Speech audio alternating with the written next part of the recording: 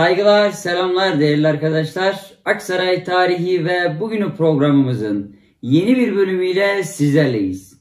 Bugün sizlerle beraber Anadolu Selçuklu döneminde şehrimiz Aksaray'da inşa edilmiş yapıları incelemeye devam edeceğiz. Ancak bugün diğer programlardan farklı olarak günümüze gelemeyen Anadolu Selçuklu dönemi eserleri üzerinde duracağız toplam 27 adet eseri inceleyip Anadolu Selçuklu dönemi eserlerini de bu program itibariyle bitirmiş olacağız. Vakit kaybetmeden programımıza başlayalım. İlk eserimizi daha önce Maziler İzler programımızda sizlerle beraber işlemiştik. Anonim Türbe. Anonim Türbe'nin bulunduğu yere bakacak olursak Aksaray Merkez Ervah Mezarlığı'nın kuzeyinde Kalınlar yolu üzerinde yer almaktaydı. Yani Kireçlik istikametinde bulunuyordu. Ancak bu şaheser maalesef e, Cumhuriyet'in ilk yıllarında bir göz e, kör kazmaya teslim edilerek günümüze gelmesi engellendi. Kaynaklarda yapıya ait diğer isimlere bakacak olursak Erva Tepe türbesi şeklinde geçmekte. Bunun nedeni de bunun nedeni de değerli arkadaşlar Ervah mezarlığı içinde bir tepe üzerinde yer aldığı için Halil Etem bu isim ile bizlere e, anonim türbeyi tanıtmakta.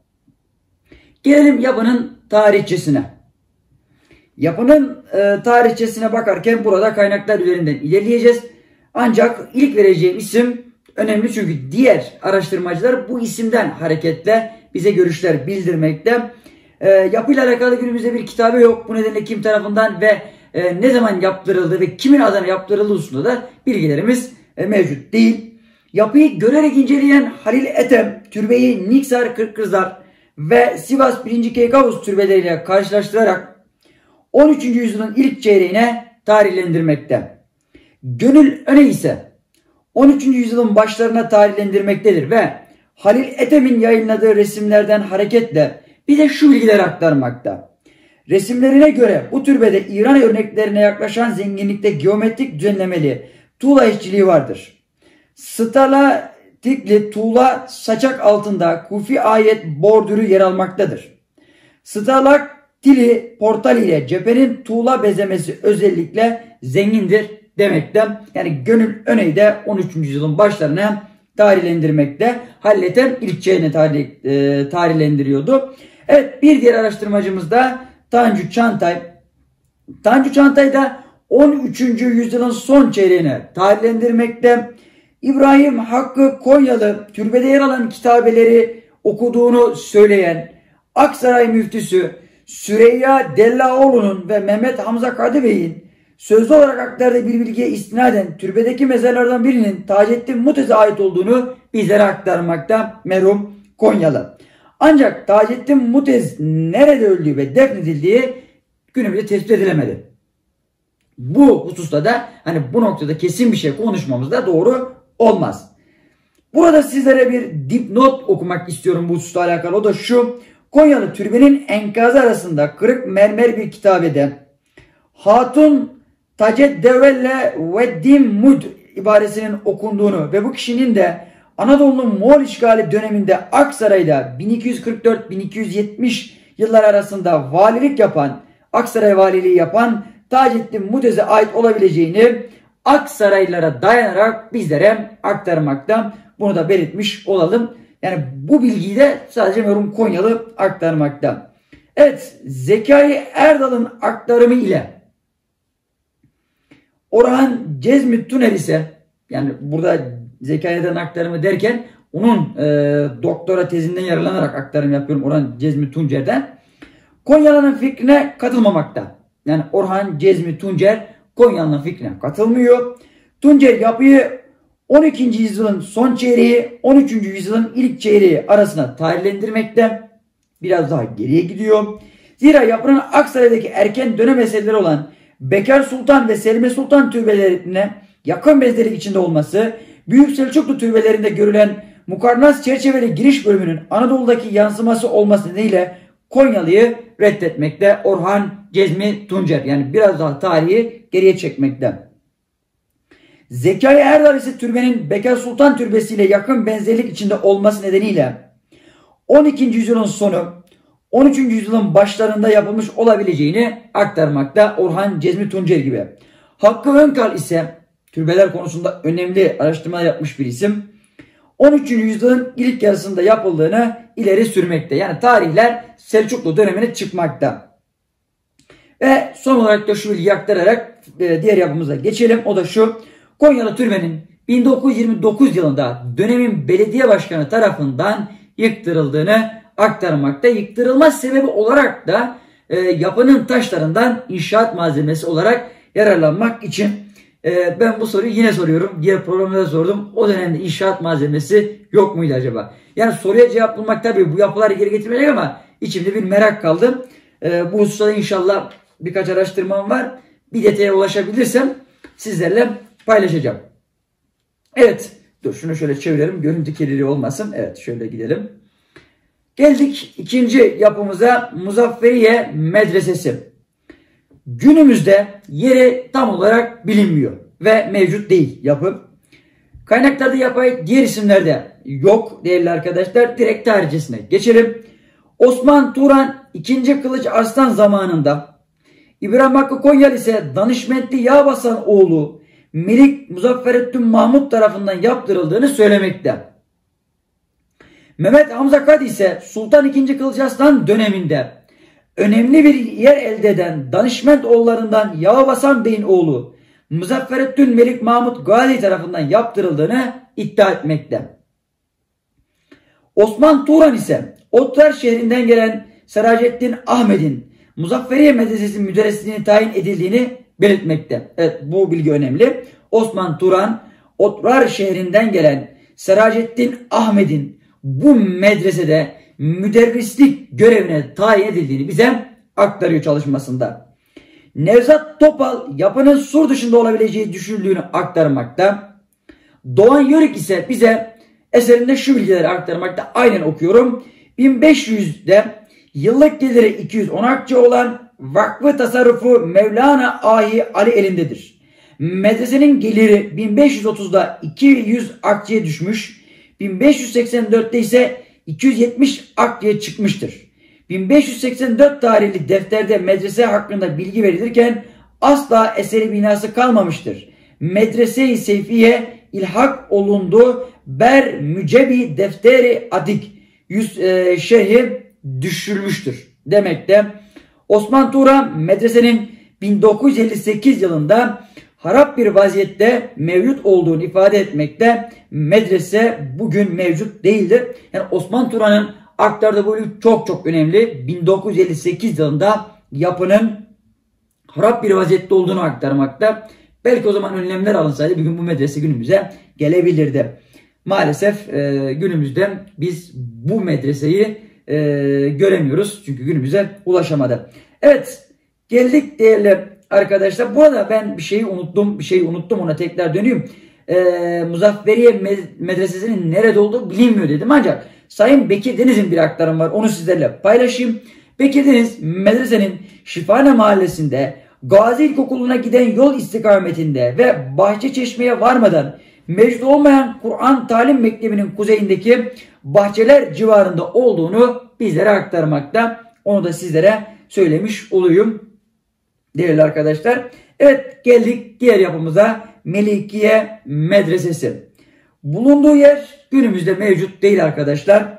Ee, kaynakta kaynaklarda yapıya ait geçen diğer isimlerde baktığımızda da e, aynı şey e, diğer yapı gibi Muzafferiye Medresesi gibi herhangi bir başka isim yok. E, Melikiye isminden başka. Tarihçesine bakacak olursak Konyalı yapının Anadolu Selçuklu Sultanı 1. Gıyasettin Keyhüsev döneminde e, Muzafferettin Melik Mahmut Gazi tarafından yaptırıldığını aktarmakta.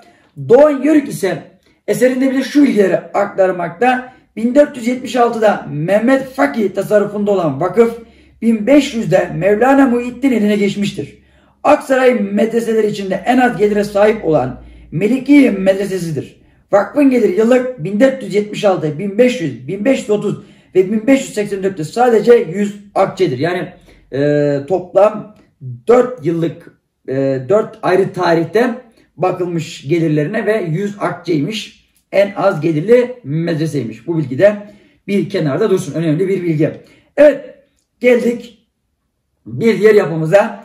Ebu, e, Ebu Bekiriye Medresesi daha düzgün okuyayım ismini. Ebu Bekriye Medresesi. E, bu medresenin yeri konusunda tam bir böyle e, tam bir bilgi yok ama ben size bir e, dipnot aktaracağım burada da. Abdullah Sabri Carter Marie Yılan Medresesi'nin yani diğer isimleri birazdan değineceğim ona da. Sebil mahallesinde yani Colaki mahallesinde Hacı Hamzaoğlu'nun evi içinde olduğunu yazmakta. Konyalı'da şu ifadeleri aktarmakta.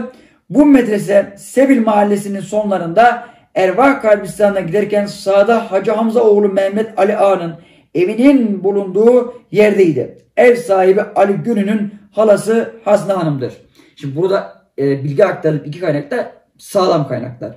Birincisi ilk valimiz ve e, bu medresenin yeri konusunda verdiği bilgiler bizim için çok önemli. E, doğru olma ihtimali çok çok yüksek. İkinci kaynakta keza Konyalı'nın kaynağı bu da çok çok önemli bir ve iki kaynağın uyuşması yani medresenin Corlaki mahallesinde e, olma ihtimalini iyice kuvvetlendiriyor. Evet geldik kaynaklarda yapıya ait diğer isimlere. E, Yılanlı Medrese ve Marie Medrese olarak da kaynaklarda geçmekte. Gelelim yapının tarihçesine. Konyalı medresenin banisinin 1. Alaaddin Keykubat devrinde Kayseri subaşısı olan Seyfettin Ebu Bekir olduğunu ileri sürmekte. Bekir'den ise medreseyi 14. yüzyıla tarihlendirmekte. Zekai Erdal ise bize şu bilgiler aktarmakta. Doktora tezinde Anadolu Selçukluları devrinde inşa edilen medrese 1584 yılına kadar varlığını sürdürmüş. Sonrasında da Yılanlı Marie Medresesi adıyla 20. E, yüzyıl başlarına kadar kalıntı halinde olsa ayakta kalmıştır demekte. Yani bu Cumhuriyet'in ilk yılları itibariyle yapılara sahip çıkılabilseydi bugün tarihi eser konusunda bulunduğumuz konunun daha da üstünde e, olmamız muhtemeldi değerli arkadaşlar. Yani ama şöyle de değerlendirmek lazım. Hep ben diyoruz Cumhuriyet'in ilk dönemlerinde e, yapılara sahip çıkılmaz falan filan ama yani o dönemlerin zorlukları göz önünde bulundurmak lazım. Yeni bir ülke kurulmuş, yeni bir temeller oluşturuluyor. Halkın durumu belli. Yani ister istemez bazı şeyler göz ardı edilmiş. Ama tabii sahip çıkılması daha güzel olurdu.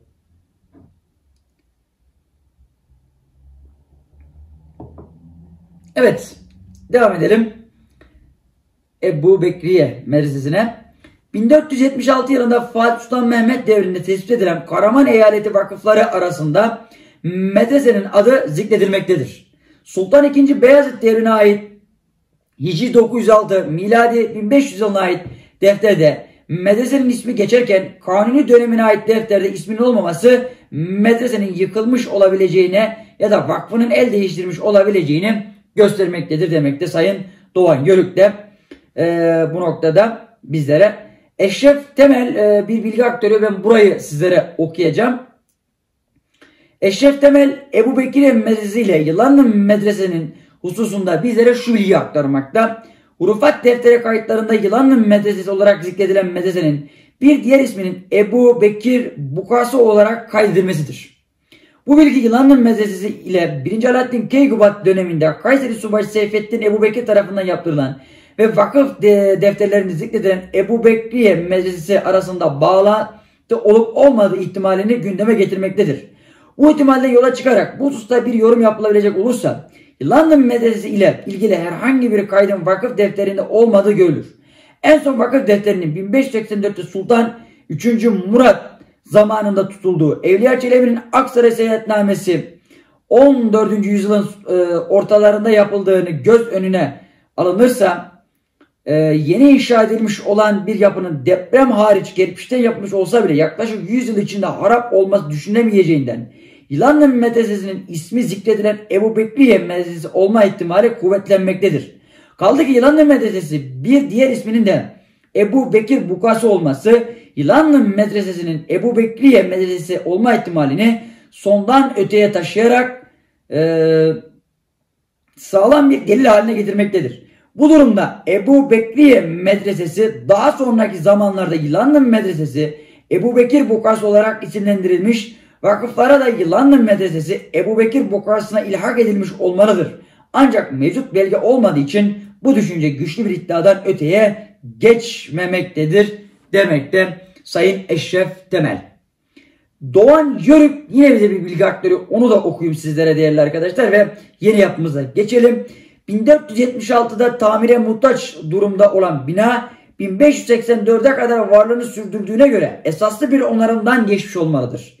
1476-1500 tarihlerinde Mevlana Abdüllatif tasarrufunda olan medresenin banisinin 1. Alaaddin Keykubat'ın hükümdarlığı sırasında Kayseri subaşısı olan Seyfettin Ebu Bekir olduğu sanılmaktadır demekte.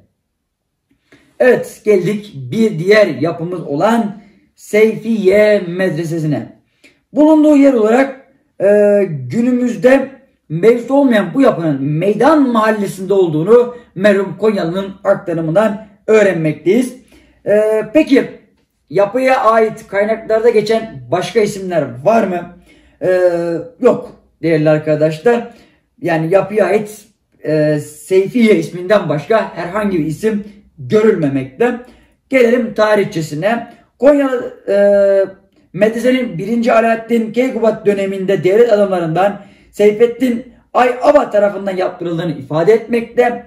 Doğan Yörük ise 1476 tarihinde harap durumda olan medresenin gerek bakım gerekse varidat açısından zamanla ihya edildiğini görülmektedir. Bu dönemde Mevlana Taceddin'in tasarrufunda olan medrese 1500'de Mevlana Muhittin'in eline geçmiştir. 1476'da 910 akçe olan vakfın yıllık geliri 1500'de 1579 akçeye, 1530'da 1832 akçeye, 1584'te 3730 akçeye çıkmıştır demekte Sayın Doğan Yörük. Ayrıca Doğan Yörük medresenin 1630 yıllarına kadar faal durumda olduğunu aktarmakta ancak Eşref Temel bu görüşe katılmayıp mevcut belgeler bu medresenin varlığının 19. yüzyıl ortalarına kadar sürdürdüğünü göstermektedir demekte. Yani tarihi biraz daha ileriye çekmekte. 1584 tarih defterde Muzafferiye Medresesi hakkında bilgi verilirken asla eseri binası kalmamıştır. Medrese-i Seyfi ilak olundu. Beri Mücib defteri Atik şehri düşülmüştür. Yani Muzafferiye Medresesi'nin e, bu medreseye aktarıldığı da 1584 tarihli defterde geçmekte. Zaten e, birazdan daha önce de e, ona değindik diyelim arkadaşlar. Evet geldik diğer yapımıza Hüsamiye Medresesi'ne. Aslında Hüsamiye e, Medresesi'nin daha önceki programlarda konuşmuştuk. Aktaray Lisesi'ni incelerken yine değinmiş olacağız.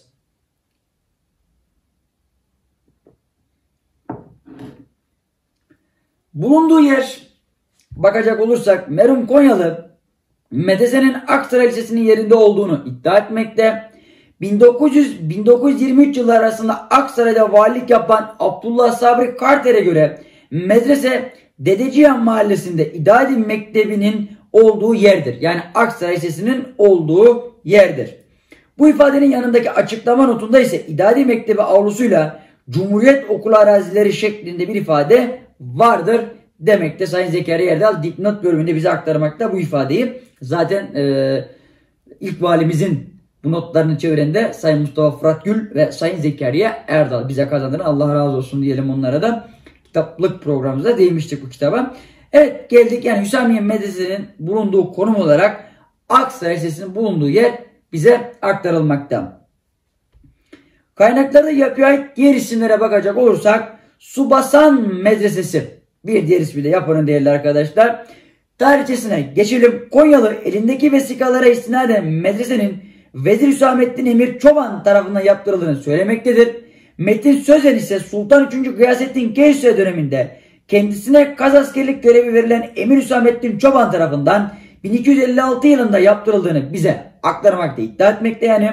Nevzat Topal ise Sudak seferinden e, yani 1226'dan sonra kaynaklarda adı rastlanmayan Hüsamettin Çoban'ın Aksaray'da bir e, eser inşa ettirmesinin çok zayıf bir ihtimal diyerek medresenin 3. Gıyasettin Geysüsev devre kadı asker olan Hüsamettin tarafından yaptırılmış olmasının kuvvetle muhtemel olduğunu aktarmakta. 1921 yılında bu medrese yıktırılarak yerine Aksaray valisi Abdullah Sabri Kartel tarafından mektep idadi inşa ettirilmiştir. Bak bu çok güzel bir e, davranış. Hiç olmazsa bir eğitim binası yıkılarak yerine bir eğitim binası inşa edilmiş. Muazzam bir eğitim binası. Aksaray Lisesi muazzam bir eğitim binası. Yani benim şöyle e, yani o binanın yanına gittiğimde şöyle karşısına duyduğumda e, geçtiğimde bir duygusallık geliyor içim arkadaşlar. Yani çok güzel bir bina. Çok hoşuma gidiyor. Mimari açıdan olsun, insana verdiği bu tarihsel duygu olsun. Yani niye güzel? Yani muhtemelen bu medrese ya kullanılmıyordu zaten o dönemlerde. Ve e, muhtemelen de iyi bir durumda değildi. Yani bir, e, bir eğitim binasına dönüştürülmüş. Bir şekilde e, yararlı bir hale gelmiş alan. Yani burada e, yapının e, kim tarafından yaptırıldığı hususunda kesin bir bilgi e, olmasa bile kuvvetli bir bilgi e, ikinci, üçüncü Gıyasettin Keyüs'e devre kadasker olan Hüsamettin tarafından yaptırıldı. Bu daha e, kuvvetli bir ihtimal. Evet geldik Fahri Haber medresesine.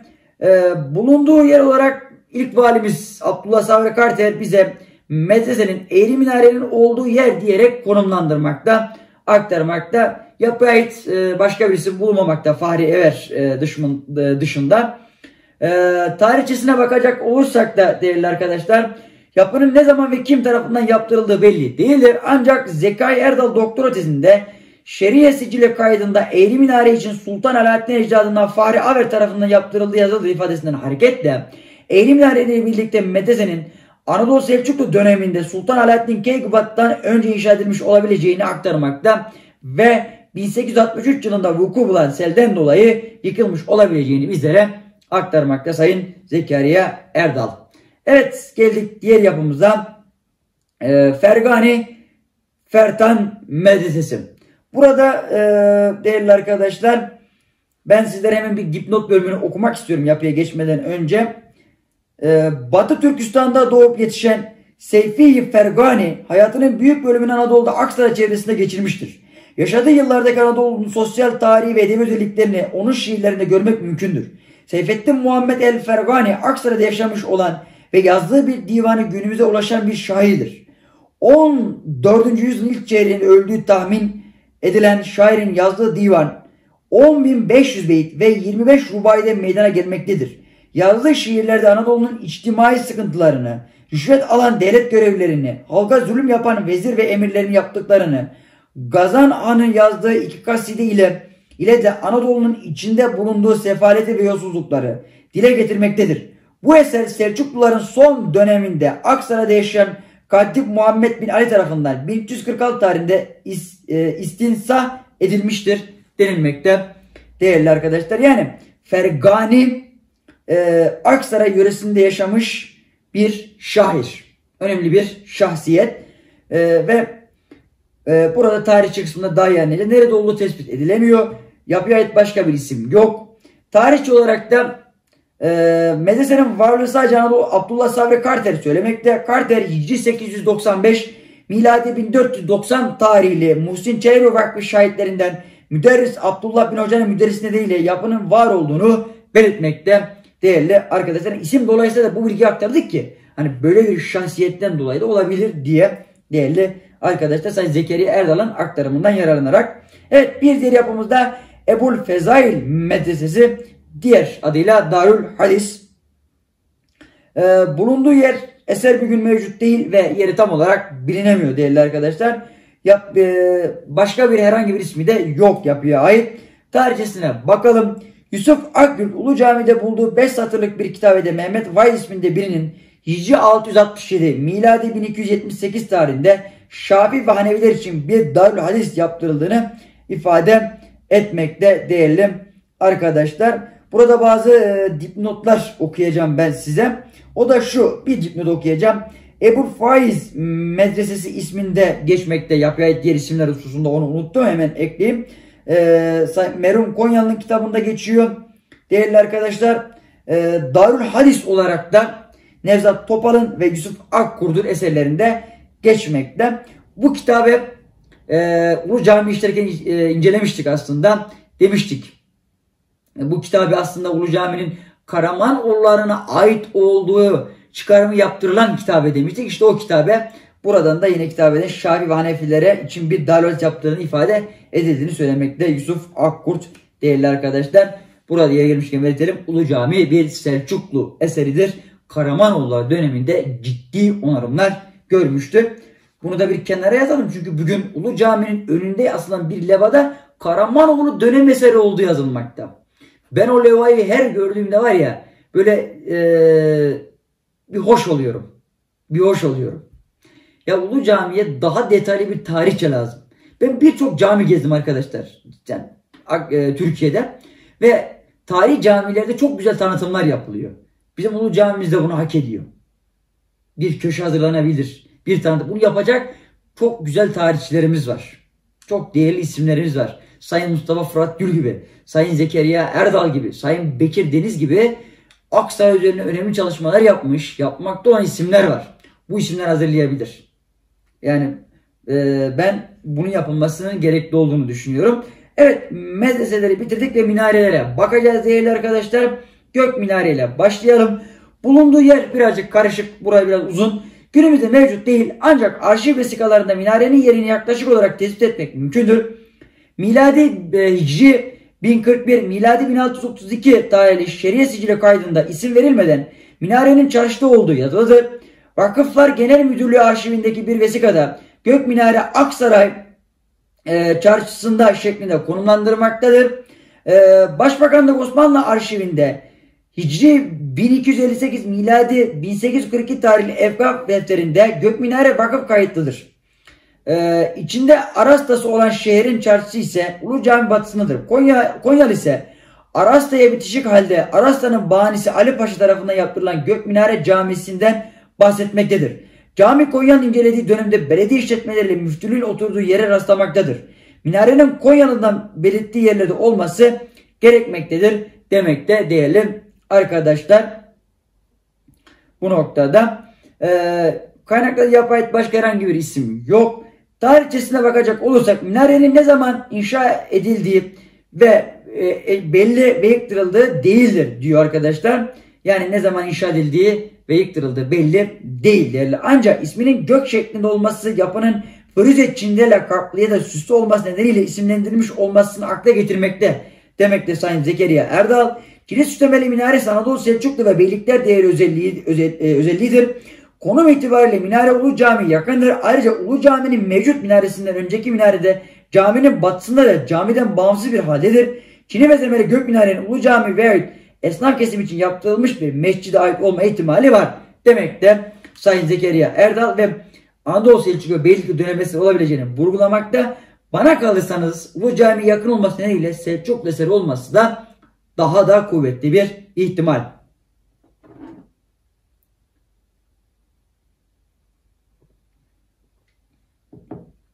Evet, gök minarede bu şekilde geldik Ali Bey minaresine. Bulunduğu yer değerli arkadaşlar arşiv vesikalarında minarenin yerini yaklaşık olarak tespit etmek mümkün. Hicri 1037 miladi 1628 tarihli Şeriye sicili kaydında Bey Minaresi Vakfı Demirkapı Mescidi'nin yakınlarında yer almaktadır. Yine aynı tarihli bir başka sicil kaydında da Kuru Perit Mahallesi mevzii zikredilmektedir. Yani e, Külhane Ali Baba Türbesi'nin yakınlarında.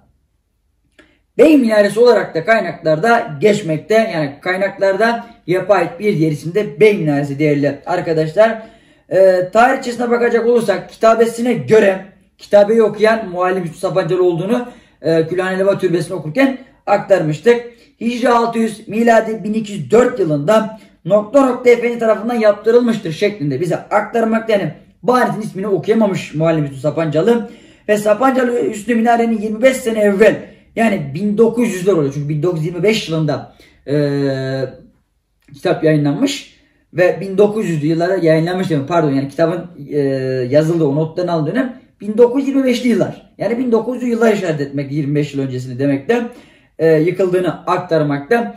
e, ilk valimiz Abdullah Sabri Kartel de 15 yıl önce yıkıldı demekte değerli arkadaşlar. Yani tarihlendirme 1900'lü 1900'lü yılların başlarına tekabül etmekte.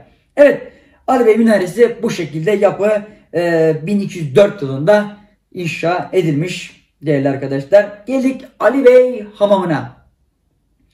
E, arşiv vesikalarına göre Küçük Kapı e, yakınında yani Külhan Ali Baba Türbesi'nin yanında bulunmakta idi değerli arkadaşlar. Yine bu yapıları incelerken e, bu yakınlarda bir medresenin de olduğunu vurgulamıştık. Karamanoğulları dönemine ait bir medresenin olduğunu da sizlere vurgulamıştım. Gülhaneli Baba Türbesi'ni incelerken de. E, kaynaklarda yapay başka herhangi bir isim ama Bey Hamam olarak da geçmekte onu da vurgulayalım. Tarih olarak bakacak olursak e, Hicri 1038 miladi 1629 tarihli seriye sicile kaydında Ali Bey Hamamı Küçükavı yakınında bulunmaktadır. Yine burada Bey Minaresi ve Ali Bey Türbesi bulunmaktadır. Sapancalı Üstü'nün minarenin Hicri 600 miladi 1204 tarihli kitabesini okumuştur. Bani'nin Anadolu Selçuklu döneminde olması, minare, hamam ve türbenin Ali adıyla isimlendirilmesi nedeniyle hamamın da 12. yüzyılın sonu 13. yüzyılın başlarında yaptırılmış olmalıdır demekte Sahil Zekeriya Erdal bu hususta. Evet geldik e, saray hamamına. Ağzı Karan Hamamı var bir de. Ondan sonra da hanlara geçeceğiz.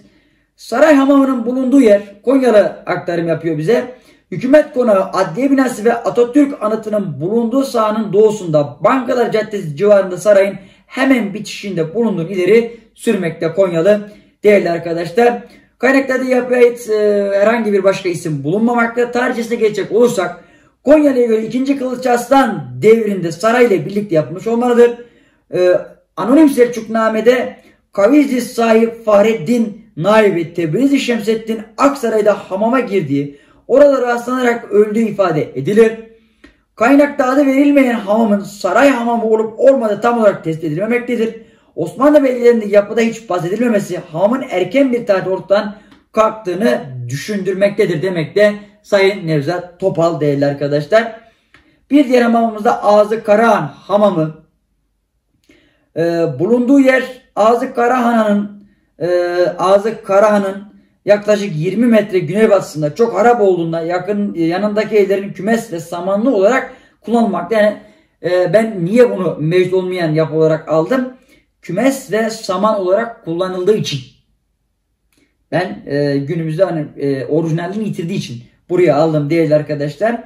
Yapının tarihçesine ve diğer isimlere değinmeyeceğim. Niye değinmeyeceğim? Ağlı Karahan ismini taşıyorsa muhtemelen e, hanla aynı tarihleri barındırması mümkün değil arkadaşlar. Yani hana ait bir hamam olması çok çok yüksek bir ihtimal.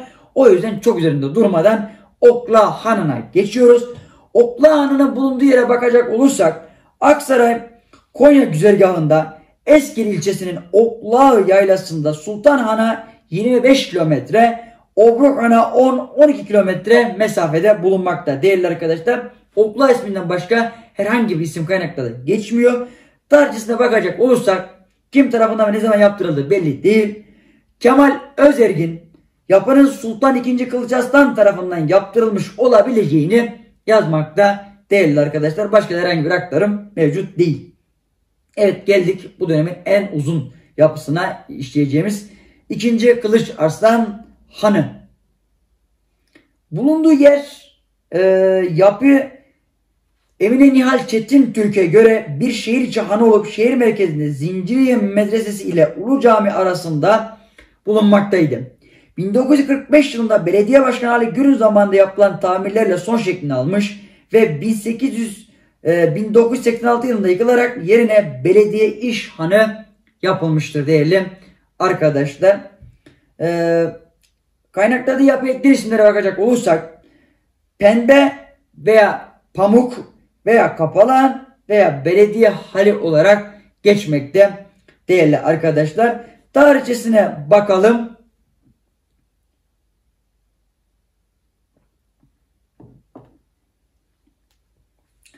Sarre İbrahim Bey Medresesi'nin yakınında dış duvarları ayakta olan ve avlunun ortasında bir mescide bulunan bir ortaçağ hanı şeklinde bahsetmektedir. Ayşe Dek Nervat Sarre'nin bahsettiği hanın bu han olabileceğini aktarmakta. Oberhummer ve Zimmerer sadece caminin karşısında eski handan söz etmekteler. Kurt Ertmann Sarre'nin Aksa ziyaret esas alarak hanın sadece avlusu ve köşk mescidi olduğunu aktararak bu tarz e, köşk mescidinin sadece Osmanlı şehir hanlarında görüldüğünü aktarır. Ancak Aksaray'da bu döneme ait kervansaray ihtimal vermemektedir değerli arkadaşlar. Ve burada bir dipnot aktarayım sizlere. Sarre ve Oberzummer Zimmer'in kitaplarını incelemiş olan Ertmann yerini ve plan tipini tam belleyemediğinden hanı Ulu Cami karşısındaki boş alanda aramış ve bulamamıştır. Burada e, önemli bir bilgi. Devam edelim. Kemal Özergin ise yapı için şu bilgileri aktarmakta Aksaray'da kitabesi yok demekte 1896'da dış duvarları durmaktaydı. Şimdi mevcut değil. Büyük bir han olduğu anlaşılıyor demekte değerli arkadaşlar. Osman Turan ise bugün izi kalmamış olan bir sultan hanı olduğunu belirtir. Ali Eren Selçuklular Hanı olarak adlandırdığı yapının Selçuklulardan kaldığını belirttikten sonra hanın dış duvarlarıyla avlu ortasında mescidin sağlam kaldığı, diğer yerlerin yıkıldığını yazmaktadır. Konyalı Han'ın 2. Kılıçarslan tarafından yaptırıldığından bahsetmektedir. Konyalı Aksaray'ın eserinde geçen Ribat'ın Akhan olduğunu belirterek Turan'dan makalesinde aktardığı hanın yok olan başka bir Selçuklu Hanı olduğunu aktarır. Ayrıca hanın kale içinde olduğunu aktarır. Bekir Deniz'de hanın Anadolu Selçuklu Sultan II. Kılıçarslan döneminde kaldığını yazmakta. Zekai Erdal aktarımı ile Nihal Çetin Türk'ün onun doktora tezine yardımıyla aktarıyorum Nihal Çetin Türk'ün aktarımını. İncelediği zaman ayakta olan yapının 17. yüzyılda yapılmış iki katlı bir Osmanlı şehir iç hanı Güney kapısı ise Selçuklulardan kalma hanın orijinal kapısı olduğunu ve bu hanın bilinmeyen bir sebepten dolayı harap olmaz üzerine onun temellerinin yine aynı fonksiyona binaen önemli bir kısmının günümüze gelen bu han inşa edilmiş demektedir. Emre Nihal Çetintürk. Yani Emre Nihal Çetintürk şunu demek istiyor. Yapı Selçuklulardan kalma ancak Osmanlı döneminde yapı zarar görmüş. Tekrar onarılmış. Orijinal fonksiyonu bozulmadan devam ettirilmiş demekte. Ee, Sukuti Karaca eldeki vesikalardan vesikalara göre birkaç asır evvel Pamuk Han'ın iki taşını söken kişilerin ağır ceza çaptırılmasına karşın kendi döneminde hanın şeklinin kaybettiğini söylemektedir. 1838 yılında şehre gelen Moltgen zifire karanlık gece vardık. Burada bir otele inmek hiçbir zaman bahis konusu olamaz. Han yahut kervansaraylar içlerinde eşya anlamına tek bir şey bulunmayan ufak hücrelere bölünmüş geniş taş binalı ibarettir demekte. Bunu da Sayın e, Nevzat Topal aktarıyordu. Ben oradan aldım konu içerisinde. E, Zekeriya Erdal ise Sultan II. Kılıçarslan döneminde inşa edilmiş. Osmanlı döneminde ciddi tamiratlar görmüştür demektedir. Ayşe Deknalbat ise hanın 2. Kılıçarslan döneminde yaptırıldığını söylemekte değerli arkadaşlar. Burada bir dipnot okumak istiyorum size. Bugün Kılıçarslan Kervansarayı mevcudiyetine dair ne bir kitabe ne de bu isimle harabenin mevcut olduğunu bilmiyoruz. Fakat İzzettin Keykavus ile Nükrettin Kılıçarslan arasında mücadeleden bahsederken İbni Bibi bunun Aksaray civarında bulunduğunu söyler. İbni Bibi Kervansaray Kılıçarslan veya Sultan Ana adıyla zikrederken eserin hülasını yapan kardeşi Kervansaray'dan yan sonucu adı ile bahseder. Aksaray ise daha sari olarak Kılıçarslan Ribat'ın Aksaray civarında olduğunu, Bayezid'in orada kışladığını söyler. İbni Bibi muhtasarı sahibinin bu devir tarihi ve bu yolu iyi bilmesi dolayısıyla bu iki adın yani Sultan Hanı ve Hanı adlarının aynı şeye delalet ettiği şüphesizdir. Halbuki daha sonraları Alaaddin Keykubat tarafından Aksaray'da bir menzil mesafe yaptırılarak Kervansaray'a Kervansaray'a da Sultan Hanı adı Sultan Hanı adlarının e, pardon Sultan Hanı adı verilmiş ve, ve Sultan Hanı adı verilmiş verilmektedir. Böyle olmakla beraber İbn Bibi ve Aksaray'ı bu Alaaddin adını zikrederek tarz ederler. Öte yandan Anonim Selçukname ve e, El Veled Üç Şefik iki sultan arasında cereyan eden Vakay Alaaddin Kervansaray'ın yanında meydana gelmiş olarak yazarlar. Hatta Nidire Kadı bu muharebede ölen Deniz Celaleddin Huten'in mezarının da Alaaddin Kervansaray civarında olduğunu söyler ki bu vaziyette ona mesubiyet dolayısıyla yanlış malumat verdiğini sanmak mümkün olamaz. Kaynakların Vakay Kılıçaslan veya Alaaddin Kervansaray civarında göstermeleri kitabe ve harabesinin henüz tespit edilmemiş olmasına rağmen birincisi mevcudiyetinden şüphelenmek tarzında değil herhalde iki kervansarayın birbirine e, yakın bir sahada bulunmasını izah etmek icap eder diyor. Bu yukarıdaki e, özerginin Turan aktarımları var ona binaen bir dipnottu değerli. Arkadaşlar devam edelim. yeni yapımızla.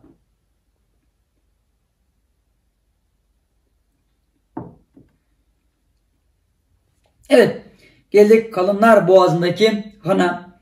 Ee, konum olarak bulunduğu yer itibariyle Kalanlar Mahallesi'nin yaklaşık 1 kilometre doğusunda Reglüter'in yakınlarında bulunmakta idi değerli arkadaşlar. Başka herhangi bir isim yok. Yapıya ait. Tarihçesine bakacak olursak kim tarafından ne zaman yaptırıldığı bilinmiyor. Herhangi bir kitabı da günümüzde mevcut değil. Yapı inceleyen İbrahim Hakkı Konyalı Anadolu Selçuklu Sultan II. Kılıçdaroğlu tarafından yaptırıldı, yaptırılmış olabileceğini aktarmakta. Bekir Deniz de yapıyı han olarak kabul etmektedir. Günümüzde mevcut değildir. Herhangi bir bilgi yok. İki araştırmacının bize aktarımı dışında. Ancak e, yapıyı aktaranlar da önemli şahsiyetler. Onu belirtmek isteriz. Üzerinde durmak gerekiyor. Evet e, hanlar da bu şekilde geldik çeşmelere değerli arkadaşlar. Örtülü çeşme. E, konum olarak Ortaköy'e bağlı Çiğtepe kasabasının e, 15 dakika mesafesinde bulunmakta. Kaynaklarda yapay başka herhangi bir isim yok. Örtülü ismin dışında tarihçi olarak kitabesine göre Ethemoğlu Ahmetoğlu İlyas tarafından Hicri 649 miladi 1251 yılında 60 dirhem harcanarak yaptırılmıştır değerli arkadaşlar. Çeşme Konya'nın incele döneminde mevcut değildi. Kitabesi köy camisi duvarındaydı. Zekai Erdal ise 2013 yılında köyde yaptığı incelemede kitabı, kitabenin sıvı altında kaldığını aktarmakta bizlere. Değerli arkadaşlar örtülü çeşmede bu şekilde 1251 yılında inşa edilen. Evet geldik diğer çeşmemiz Tuğracı Hüsam Çeşmesi'ne. Bekir Deniz yapının Zafer Mahallesi'nde bulunduğunu tahmin edildiğini bizlere aktarmakta. Tuğracı Hüsam ismi dışında kaynaklarda herhangi bir isim geçmiyor başka. Tarihçesine bakalım çeşme hakkında bir kitabı ve e, ya veya vesika günümüze kadar ulaşmamıştır.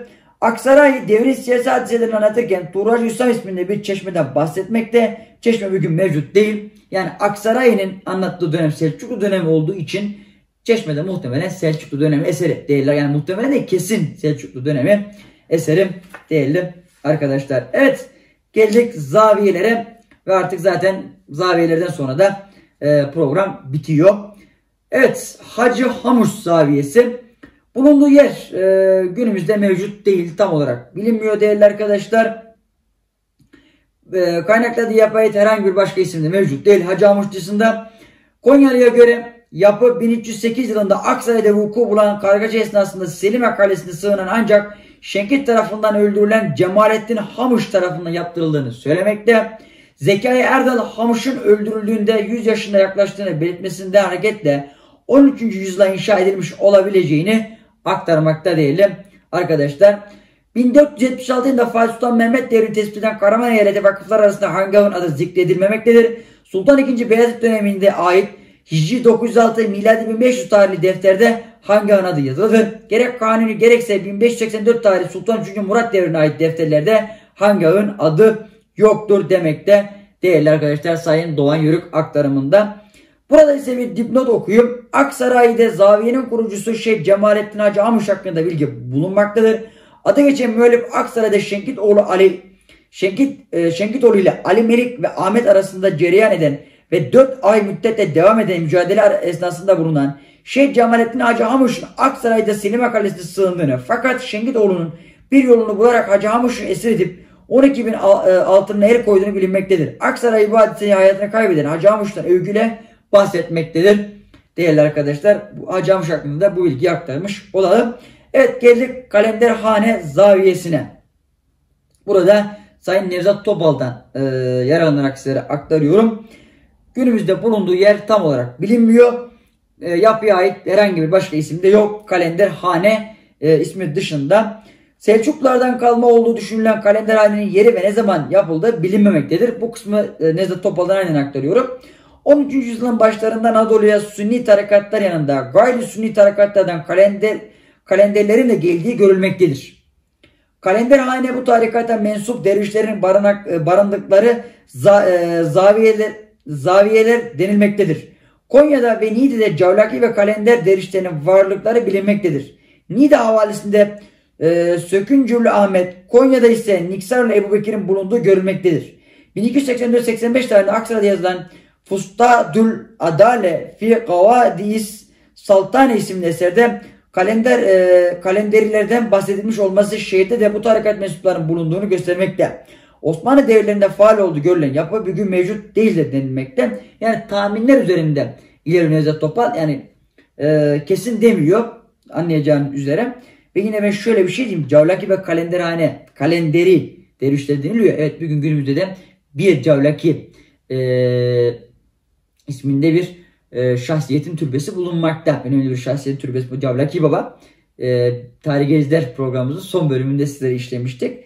Kalenderi e, şeyi olduğu düşünülüyordu. O da önemli bir bilgi değerli arkadaşlar. Bu noktada yani olabilir. Evet Selçuklu döneminde böyle bir e, kalenderhane isminde bir zaviye olabilir. Dediğim gibi Nevzat Topal da tahminler üzerinden gitmekte. Evet geldik e, Ferah Müziye zaviyesine. Evet. Ferah Müziye zaviyesinin bulunduğu yer günümüzde bilinmiyor değerli arkadaşlar. E, kaynaklarda yapay herhangi bir başka isim de yok. Ferah Müziye dışında. Sercisine bakacak olursak Nevzat Topal yapının 12. yüzyıl zaviyelerinden olduğunu ve Osmanlılar devrinde de işlevini sürdürdüğünü aktarmakta.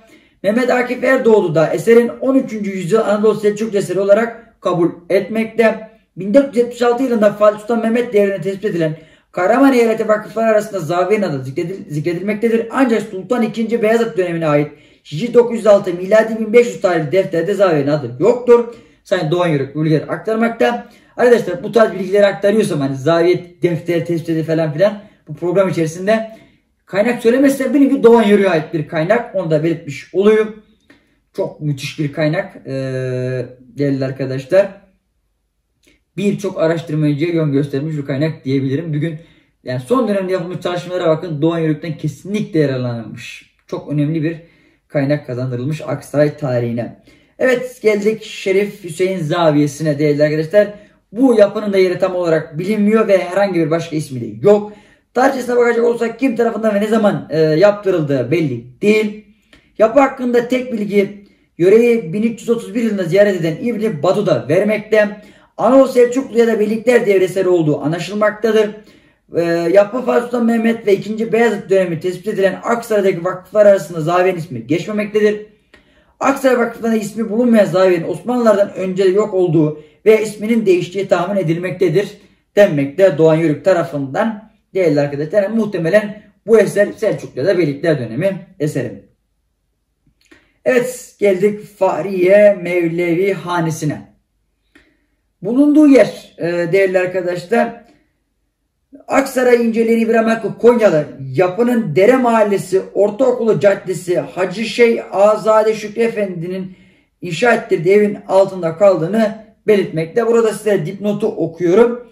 Konya eserinin bir başka yerinde ise eserin posta memurunun evinin bulunduğu arsa olduğu yazmakta. Ayrıca Fahriye Mevlihanesi karşısında yer alan Fahri Tabip Mescidi'nin Şükrü Şişman bahçesinde içinde olduğunu Ali Gül'üne dayanarak yazmaktadır. Bu ifadeyle göre Mecid ve Mevlevihane karşı karşıyadır ancak Vakıf Genel Müdürlüğü arşivi kayıtlı Hicri 1196 miladi 1780 tarihli Derviş Murat Vakfiyesi'nde Demir Kapı yakınlarındaki iki katlı mekanın Mevlevi Hane ile sınırlandırılmış olduğu belirtilmektedir. Bu konumlandırma Konyalı'yı reddetmektedir.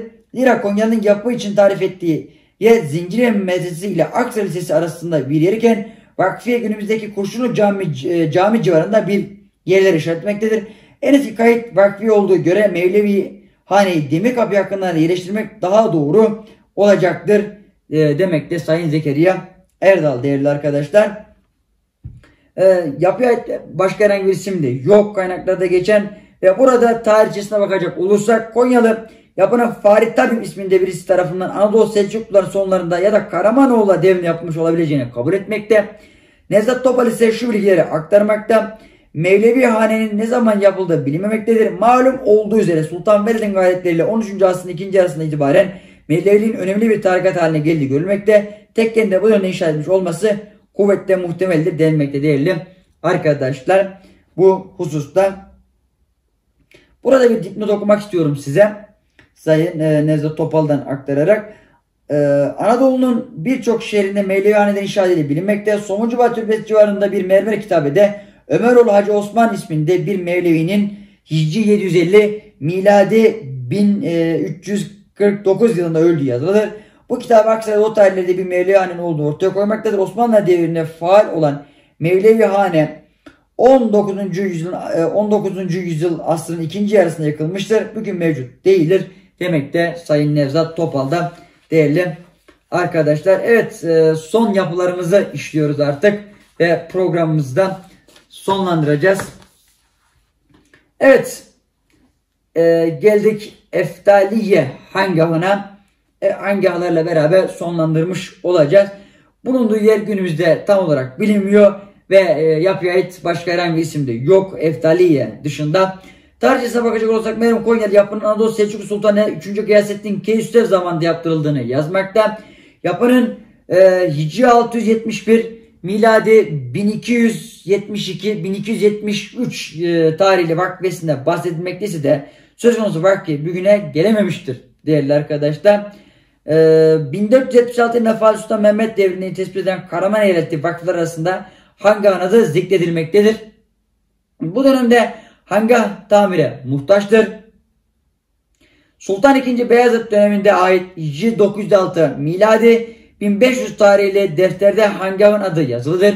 Ancak 1584 tarihli Sultan III. Murat devrine ait defterde Hangah'ın adı vardır, e, yoktur değerli arkadaşlar. Bunu da aktarmış olalım sizlere. Evet geldik İmadiye Hangah'ına.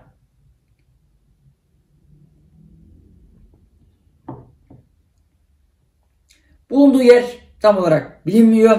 İmadiye Hangah'ının ve İmadiye ismi dışında da herhangi bir isimde kaynaklarda geçmemekte. Tarih olarak İbrahim Hakkı Konyalı yapının danışment oğullarından Nizamettin Yağbasan'ın kardeşi Mehmet oğlu İmadettin Zünin tarafından yaptırıldığını aktarmakta bize değerli arkadaşlar. 1476 ee, yılında Fatih Sultan Mehmet devrinde tespit edilen Karaman Eyaleti vakıflar arasında Hangav'ın adı zikredilmemektedir. Ancak Sultan 2. Beyazıt dönemine ait J906 miladi 1500 tarihli defterde Hangav'ın yıkılmış olduğu yazılıdır. Fakat Kanuni devrine ait defterde ise Hangav'ın tamir edilerek işler haline getirildiği vakıf e, kaydından anlaşılmaktadır denilmekte. Değerli arkadaşlar evet, son iki yapımıza geçtik bu hususta. Ee, bulunduğu yer pardon ismini söylemedik yapının e, Zahriye Hangavı bulunduğu yer tam olarak bilinmiyor ve başka herhangi bir ismi de yok Zahriye ismi dışında. Tarihçi olarak merhum Konyalı yapının Danışmenoğullarına Nizamettin Yağbasanoğlu Zahirüddin ile tarafından yaptırıldığı yazmakta. Ee, Osmanlı devrinde faal olan yapının bugün mevcut olmadığı görülmekte değerli arkadaşlar. Yani Selçuklu dönemesel olan yapı Selçuklu dönemesel olduğu düşünülüyor. Ancak Osmanlı döneminde de faalmiş ancak günümüzde mevcut değil değerli arkadaşlar. 1476 yılında Fatih Mehmet devrinde tespit edilen Kahraman Eyalet vakıflar arasında hangi anası zikredilmemektedir. Ancak Sultan II. Beyazıt döneminde ait Hicri 906 miladi 1500 tarihli defterde hangi adı yazılıdır. Ancak 1584 tarihli Sultan III. Murat devrine ait defterde hangi adı yoktur diyelim arkadaşlar. Ee, son yapımızdayız. Fahri Tabip Mescidi değerli arkadaşlar. Bu yapıyı son dakika olarak almıştım ben. Gözümden kaçtı ama yerleştirdim. Normalde mescidi en başta mescitler en başta e, işleyecektim. Ancak bulamadım ve ben sona aldım. Bulunduğu yer itibariyle günümüzde mevcut değil. Ancak Aksaray inceleyen İbrahim Akkonyalı Mescidin Fahriye Mevlevihanesi'nin karşısında ve Şükrü Şişman bahçesinin içinde olduğunu Ali Gürne dayanarak yazmakta değerli arkadaşlar. E, Farid Tabip ismi dışında herhangi bir isimde geçmiyor kaynaklarda farklı olarak. Tarihçesine bakacak olursak mescidin kim tarafından ve ne zaman yaptırıldığı belli değildir. Ancak 1476 yılında Fatih Sultan Mehmet devrinde, devrinde tespit edilen Karaman eyaleti vakıflar arasında Tabaklar Mahallesi mescidi zikredilmektedir. Yapının en azından Beylikler devrinde mevcut olduğu anlaşılmaktadır. Ancak daha öncesi de olması da tabii söz konusu. Onu da belirtmiş olalım. Kesin Selçuk e, eseri demiyoruz. Ancak olma ihtimali de var değerli arkadaşlar. Evet Fahri tabi mescidi ile beraber Anadolu Selçuklu döneminde şehrimiz Aksaray'da inşa edilmiş yapıları sonlandırdık. Bir sonraki programımızda bu dönemi şöyle bir genel tekrar yapıp değerlendirme sorularıyla karşı karşıya kalacaksınız diyorum ve inşallah ilaveden usta programımızda da o değerlendirme sorularını sizlere tek tek çözeceğiz. Evet programımızda sizlere aktaracaklarım bu kadar. Gelelim diğer hususlara. Ee, ben ilk başta şu başlayalım. Sağ tarafında bir kitaplar görünüyordu. Bunlar süs değil. Bunlar şu değerli arkadaşlar. Bu hafta içerisinde 3 önemli yazarın e, vefat yıl dönümleriydi. İlk olarak Edip Cansever'in vefat yıl dönümüydü. 28 Mayıs'tı. 28 Mayıs 1986 yılında vefat etti. 35. yıl dönümüydü vefatının. Orhan Kemal 2 e, Haziran 1970 yılında vefat etti. 51. yıl dönümüydü. Ve son olarak da Nazım Hikmet Ran 3 e, Haziran 1963 yılında vefat etti. 58. yıl dönümüydü. 3 önemli e, Türk Edebiyatı'nın ismi. 3 önemli şahsiyet e, vefat yıl dönümlerinde saygı ve rahmetle anıyorum değerli arkadaşlar. Ve ben e, bu üç önemli şahsiyetin bazı eserlerini getirdim sizlere. Edip Cansever'in bütün şiirlerini kapsayan Sonradan Kalır Bir isimli eseri var. Buradan şimdi birazdan sizlere bir şiir paylaşacağım. Kesinlikle ve kesinlikle okuyun değerli arkadaşlar. Yine benim çok sevdiğim yazarlardan biridir kendisi. Orhan Kemal. Ee, ve ben Orhan Kemal'in bu eserini aldığımda arkayı okudum. Ben de uyudum. Kitabın direkt arkasını okurum. Okuduğumda çok hoşuma gitti. Size tekrar okuyorum. Bu kitap kendi bilgi ve görgülerim dışında Orhan Kemal aktarıyor. Bir lokma ekmek için kötü şartlar içinde zehir gibi bir hayatı yaşayanlardan derilenmiş malzemeyle meydana gelmiştir. Yayınlamadan önce çeşitli ırgat, usta, usta yardımcısını toplayarak bir gece sabaha kadar okudum onlara. Dinlediler. Pardon dediler. Bu, bu kadar olur. Bütün anlattıkların doğru. Eksik bile. Çukurova'nın bereketli topraklarında öyle işler olur ki aklın durur. Sana anlatsak bir değil beş roman çıkarırsın demekte o dönemin şartlarını çok güzel şekilde anlatan işçiyi, işvereni, işçinin hayatını anlatan e, bir yazar Orhan Kemal. Değerli arkadaşlar eserlerinde mutlaka okuyun. Ve evet Nazım Hikmet değerli arkadaşlar 835 satır adlı e, şiir kitabı. Nazım Hikmet de çok önemli e, şairlerimizden biri. Yani Nazım Hikmet'in şiirlerini okuduğunuzda sadece okumakta kalmayın. E, şiirlerinden e, çok şey çıkarırsınız. Ne çıkarırsınız? Ben e, dönemin siyasi şeylerine varabilirsiniz. E, özelliklerine, siyasi durumuna. Tarihi bilgiler edinebilirsiniz. Öyle boş şiirler değil. Nazım Hikmet'in de şiirleri. Ee, dediğim gibi bu üç şahsiyeti saygı ve rahmetle anıyorum değerli arkadaşlar. Nazım Hikmet'in de kitabın arkasındaki yeri de sizlere paylaşayım. Nasıl bir şair, oldu, e, şair olduğuna bakın. Türk şiirinin çizgisini değiştirmiş, çok yönlü, evrensel boyutlu bir şair ve yazarın bu basım için yeniden gözden geçirilmiş, kaynak metinler esasında alınarak düzenlenmiş külliyatı denilmekte. Eserin son bölümünde de birkaç sayfada kendi e, el yazısı var. O nüshalar koyulmuş. Güzel bir e, yapı eser ortaya çıkarılmış. Evet Edip Cansever'in şiiriyle bu hususu da sonlandırmış olalım.